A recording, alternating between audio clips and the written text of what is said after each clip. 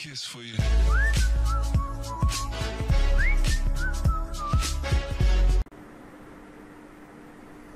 Bismillahirrahmanirrahim. Welcome to my another video on Android app development and so guys in this video I am going to show you how to use the butter knife view binding library in your Android projects.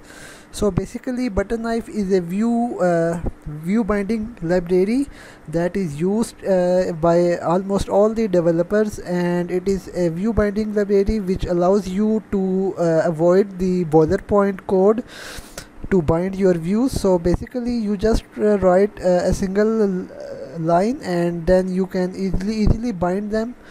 So let's get started so basically you can see that the butter knife is a lightweight library to inject views into android android components and it uses annotation processing. And so first of all let me open the butter knife github.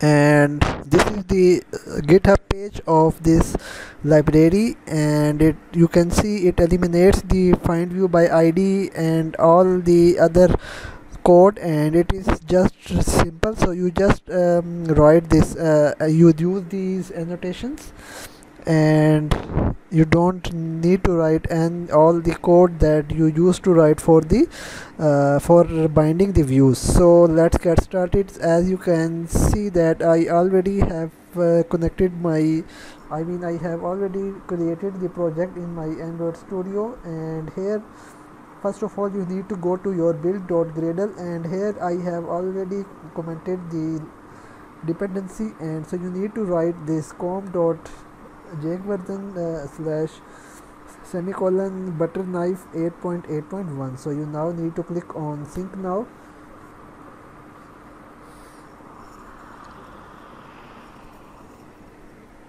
And yes you can see that it is uh, easily in, uh, integrated into our project. So in order to use it so you just need to write after this set content view butter knife dot bind and here you can just pass this. Alright so now it, this is the way of initializing this library. And what I need to show you is that let's have a layout. Uh, let's copy and drag the text view here. Then we will have a button. Then we will have the let's say an edit text. Alright let's write uh, them in a linear layout.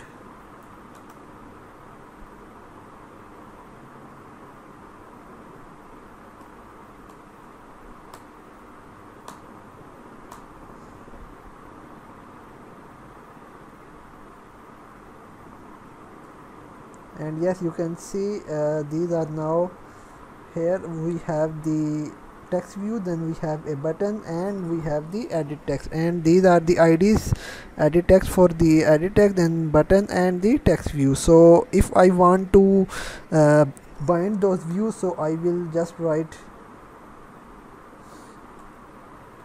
bind view.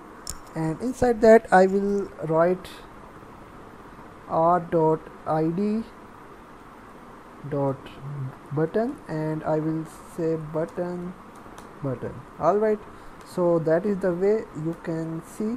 It is very simple. It makes your code a bit simple and shorter. So if I want to bind my edit text so I can say r dot id dot edit text and I can write edit text here. Similarly for the uh, text view so I can say bind view r dot id dot text view and here you we can write text view. Alright so now we can easily use them. Like we can say button dot set text. Similarly we can say text view dot set text. And all the these uh, we can access now. Okay so I think it is a very simple uh, it makes your code a bit simple and shorter so another thing which I want to show you is that you can uh, automatically uh, use uh, I mean you can automatically write all these lines. Uh, in case if you have a, a, bigger layout so you don't need to write line by line. So what you can do is you can install the plugin. So go to file and then go to settings. And inside this uh, settings you need to click on plugins. And here you can uh, write butter knife alright.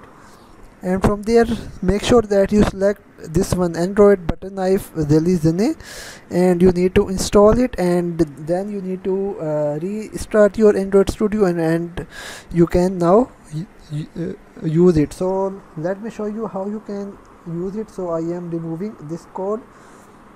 So here right uh, select the activity main right click then go to generate and there will be an option of generate butter knife injections. Alright so click here and you can see these are all the uh, views which you can bind them and there we have the variable names and I will click on confirm and there you can see that these are already are automatically written here. Alright so another thing which I want to show you is that how to use the on click feature of this butter knife. So if you want to uh, have a, a method uh, that you want to execute when you click on a button so you can what you can do is you can say on click and inside that you can uh, pass the id of the button. So we can say r dot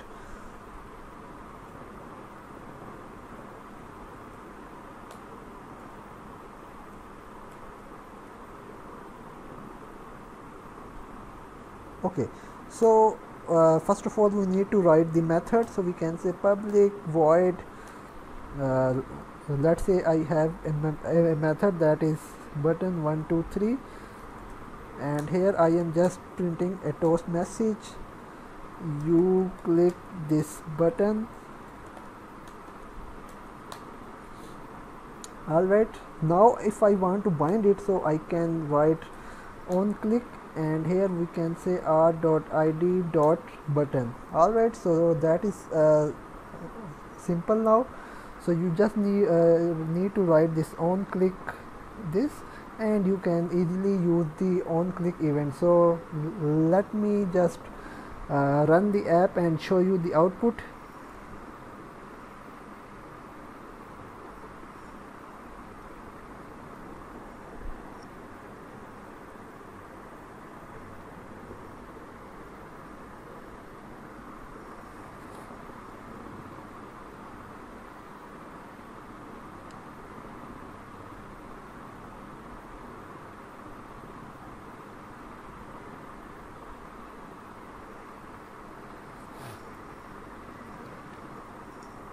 yes. Now the app is running and if I click on the button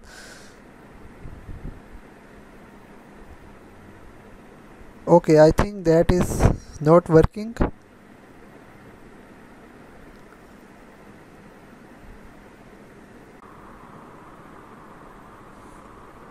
Alright guys so I forgot to include the annotation processor here so you also need to uh, in include for it to work. So if so when I uh, inserted it and it started working. Alright so let me now show you.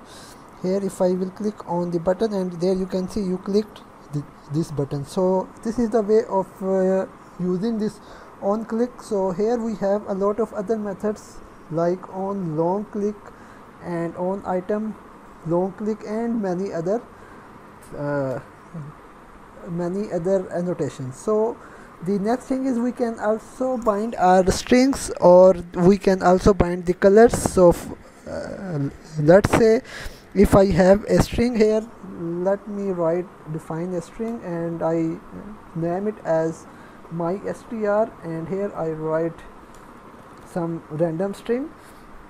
And now if I want to access this string what we can do is inside our activity we can say bind string and inside this we can say r dot string dot my str. And here we can write string my str. Alright so that is the way of binding our strings and also we can use this uh, similar to for the color. So here we can say bind uh, color and here we can write r dot color dot color primary and here we can write in color.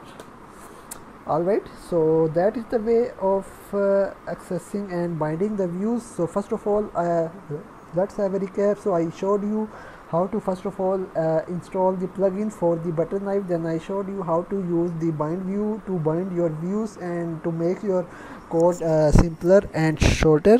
And then I uh, and I teach you how to use this on click event for your button. And then I showed you how to use the how to bind the colors and the, the strings inside your resource directory.